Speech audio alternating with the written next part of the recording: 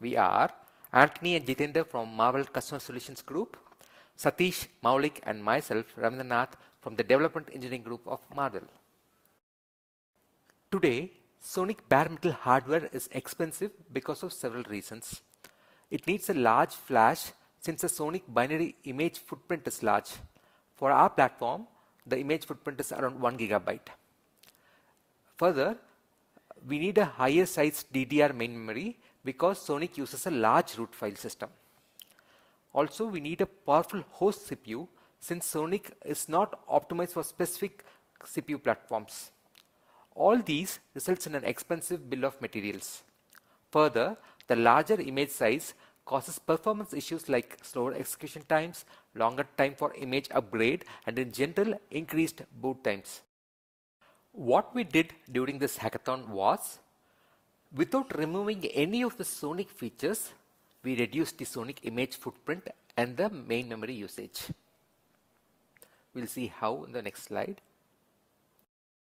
For this hackathon, we used the Wistron 3200K SKU the ASIC in this queue is Marvell Teralynx 7 and the Sonic version used is 2021-11. Let us see how we did the optimizations. For the hackathon, we looked at the root file system, the kernel and the Docker containers. For the root file system, we removed packages that are not required like developer utils, compilers, some firmwares like graphics, etc. We also replaced the core utils in the root file system with BusyBox apps and we excluded unrelated platform directories and just retained uh, Wistron 3200K SKU rated platform directories. For the kernel, we excluded desktop PC related modules and also removed unused drivers like ATM, Bluetooth, ISDN, etc. For the Docker containers, we did the following three optimizations. Uh, currently, Sonic uses the full base distribution image for the Docker containers.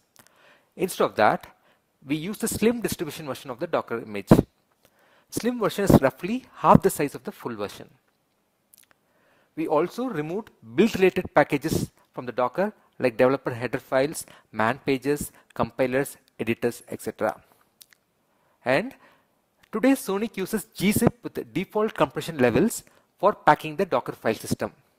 We modified it to have better compression using bzip2. Let us look at the results we achieved for, from the optimizations discussed so far. For the Sonic image size, we saw a roughly 20% decrease. Before, the image size was around 1 gigabytes and now it reduced to 830 megabytes. We also saw a 5% reduction in the RAM usage.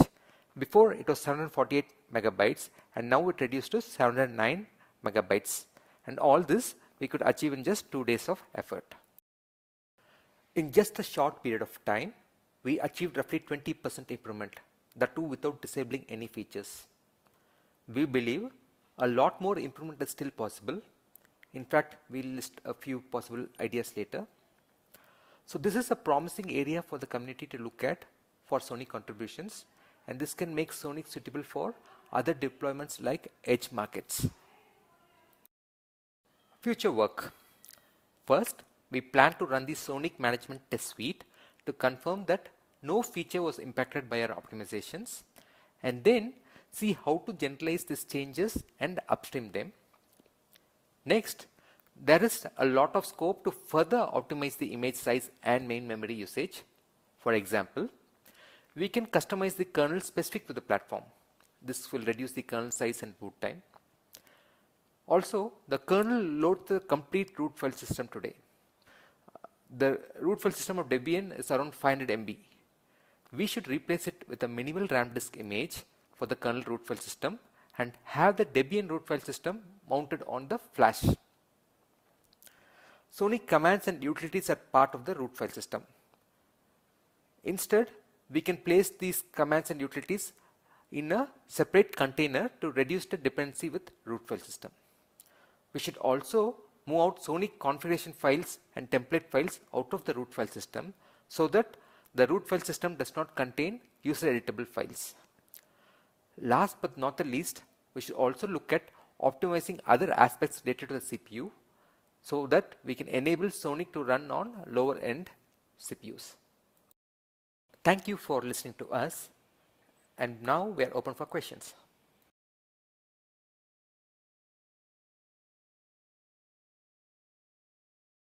Five minutes. Any questions? At most one. Thank you for the team. Yeah. Thank you. Can you, did you hear the question? When was the, yeah.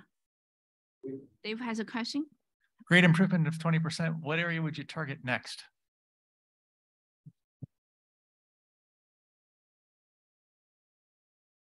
Uh, is the team online? The question is, what's your next target? Yeah. To be online, yeah. Yeah, so there can be more improvements done inside the Docker itself, uh, which we did not get chance to explore much because we we did this all in just two days. So even in the root file system, wherever uh, there were many the libraries in the packages which are taking more space or more memory, we focused only on that uh, packaging. So it's it still can be improved in Docker's and the root file system as well. Okay, thank you. Yeah, please